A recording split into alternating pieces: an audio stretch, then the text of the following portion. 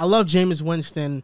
I love the Saints. They're one of my if they're not they're one of the teams I definitely root for on a year to year basis in football. But this team is nine and eight. This team is going nine and eight. This team is missing the playoffs. The Saints, to me, when gonna be your talking about take. when talking about Jameis Winston, I like him. I just can't trust him, and that's ultimately what's going to cost them. Man, do you like ever you stand? Do you ever stand Yeah, on bro. something? Have You you, ever stood on something? Wait, you can't trust him. Have you a franchise have you ever stood on something? Did you not call him a franchise quarterback? I was in the heat of the moment. Okay. I, I I'm not. Look, I can't really trust Jameis Winston like that. I like Jameis Winston, I do, and I want to believe in him. I look at the Saints' offensive line. Trevor Penning was their pick. He's not going to start, and He got hurt. rightfully so, because even when he was on the field, I mean, he didn't look too good. His preseason grade was pretty good from what I remember. Yeah, He's like but one you of the got- highest turn on the- Now four to six weeks. Yeah, No, no, I know he's hurt. Yeah. No, I'm talking about turn on the tape, and he wasn't really that good. Turn on the tackle tape, Drew. Come on. I guess right. Exactly. No, he was getting it beat on pass pro a lot. He was he was good as a run blocker though. Um, I think their offensive line has gotten worse in years past. They did lose Teron Armstead. The receiver room is it's, it's cute, right? I mean, Michael Thomas. Are you going to count on him being healthy? Who knows? Jarvis Landry. I think he's a shell of who he once was. I think Chris Olave really has to have the big time year amongst their receivers. So the only in my issue that I opinion. have here is that you know you're you're trusting Minnesota's defense. You're projecting them to be good, be healthy, But he and can't be the project the best. Saints. No, but then Michael Thomas, you never know. He could be hurt. And he's healthy week one. That's all we could ask for. This is the first time in a few years we could say that. well, he's healthy week one. The Vikings, I think, Like they Za'Darius Smith was their big addition. He missed almost the entire season. The last year. Viking. Well, he wasn't on the team last year. I understand that, I know. but that's what I'm saying. I know what you're saying. Okay. He could have played last year, but he had no money left on his deal. He didn't want to play for the Packers. He was I think he he could have played in the playoffs. The thing I just like the Vikings better. And for me, the Saints they have a tough schedule. It's not as easy as the Vikings schedule. is a The- tough the Saints schedule. have a tough schedule and you look at the quarterbacks they play. I don't trust Jameis Winston to outdo those quarterbacks. I understand their defense is great. It is. Cameron Jordan is one of the best edge rushers in the NFL. Marcus Davenport had one of the top pressure rates in the NFL in the league last year. The secondary looks nice. Demario but Davis is a ultimately, savage. yeah, of course. Look, their defense is phenomenal. I know Marcus Maye got arrested. Their defense is phenomenal. I know their defense is legit. Tyrann Mathieu comes in. But personally, I just don't believe the offense is going to play at that high of a level on a week to week basis. Be They have the, they have the talent. And even and look, I think Jameis has a good season. I think he has a good season. Do I think he has an elite level season? A great season? I don't know. I think he throws for like 26 touchdowns, 15 picks. That's what I think Jameis does. And for that in the NFC, I don't think that gets you into the playoffs. If Michael Thomas, Jarvis Landry, and Olave with Kamara, they stay healthy all season, it's a long shot to ask of Michael Thomas, but I'm manifesting. If they stay healthy, Jameis can definitely have 30 plus. Well, it's not crazy to say that. He, It's had, he had 30 and 30 interceptions. No, he and I think that the interception In a pass- the in a 15 pass-heavy offense. The 15 intercept it could definitely be pass heavy. You have Michael Thomas, Jarvis Landry, two receive, This offense reception won't. machines. This offense is not going to be as pass heavy as Bruce Arians. it was. wasn't pass, course pass not. No, heavy last year, even with but Jameis. why would it be? Even with Jameis, it wasn't. my point being is why would it be? You had Marquez Callaway as your wide receiver one. Now you have Michael Thomas, Jarvis Landry, Chris Olave. It's completely new offense. yeah, that's true. And he had Mike Evans, Chris Godwin, and uh, Adam Humphries in, in Tampa. Okay, Michael Thomas. We can we can all agree here better than Michael than Mike Evans and Chris Godwin. Oh, right In their now I'm not. but not right No, now. absolutely. right now I'm not ready to Kinda say Okay, that. fine. But let's can we just let's say we have healthy Michael Thomas. Okay. He's 28 years old still. He's not a, he's not a geezer. He's actually the same age as Mike Evans if I'm They're thinking both 29. correctly. Okay, I would, okay, I would take Mike Evans over MC Right. this year. Me too. because he has Brady. I can I can I can level with you there. Uh, Let me just ask you something. Okay. I do think MT's better. And you would Jameis- probably take Godwin over Absolutely. MT. Yeah, Absolutely. so- No, whoa, whoa. Godwin over MT? I don't know. really. I don't know.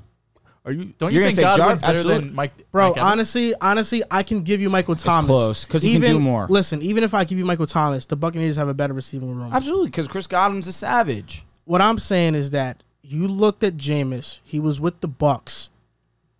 He threw 30 interceptions. They went seven and nine. He leaves. They win the Super Bowl the very next year. He was he was the guy holding them back from reaching that type of potential. Brady came and they Bro, won. he had LASIK eye surgery. Brady Brady can see now. Brady Brady went there and he won. And what big time addition did they Bra- make? Brady's the best quarterback of all time.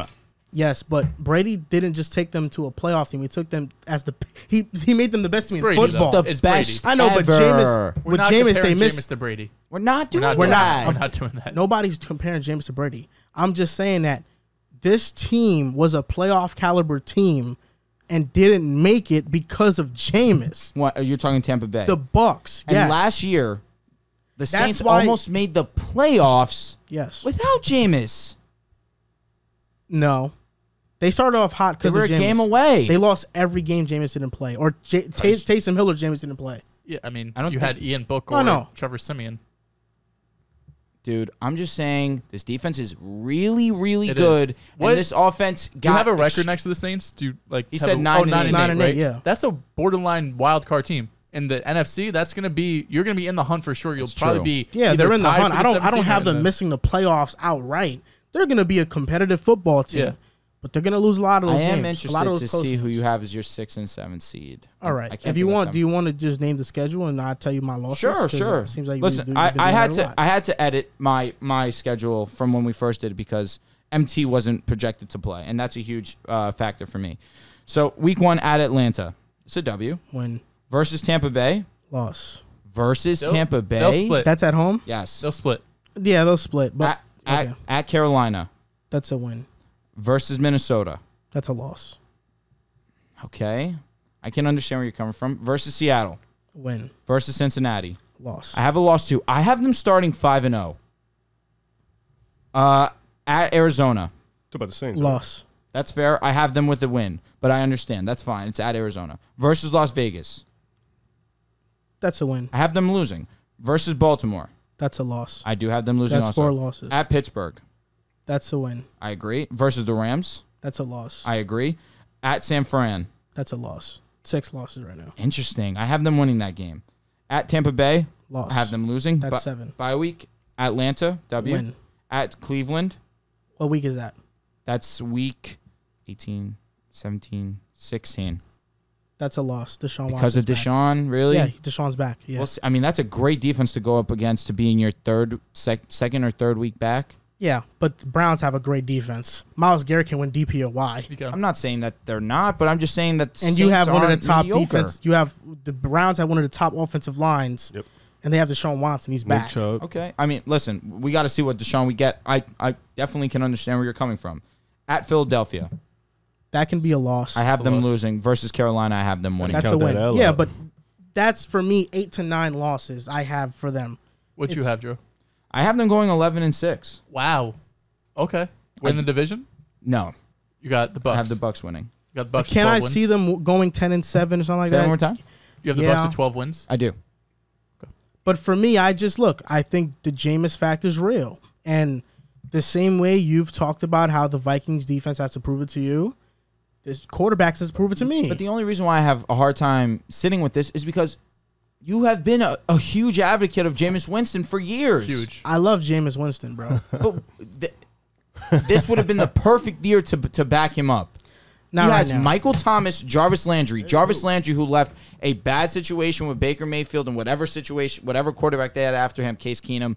I'm not going to continue to go uh, to down the list of quarterbacks that they had, but now Jarvis Landry's in a new situation. He's been killing it in training camp, and Chris Olave, who is the favorite right now to win Offensive Rookie of the Year, with Alvin Kamara, who's not going to be hurt. The one thing you could say is they lost Teron Armstead, and Penning's going to be hurt. That hurts. No absolutely. I don't really. And Sean I, Payton I don't. I honestly don't care about Penning. I really don't. I'm just saying that they lost Teron Armstead. no, that's uh, the one of the best huge. left tackles That in the is game. huge. Yeah, yeah. The Bucs have an insane schedule. They do. 12 wins. I've soured them a bit. The injuries that keep happening in the interior offensive line, we know if there's one way to get to Brady, it's going to be that way. Absolutely. And Godwin, But he's not afraid to dump it to to Fournette. he's not. No. I saw they also want to lessen his workload. I did And see that for uh, me- because Rachaad White is capable. For me, I'm just gonna say that I have I have the Bucs actually at 13 wins. I Wow. think they're at stacked. They're stacked at most positions, and they're one of those teams that right now you look at them and there's definitely some concerns, but I think they're they're gonna get better over time.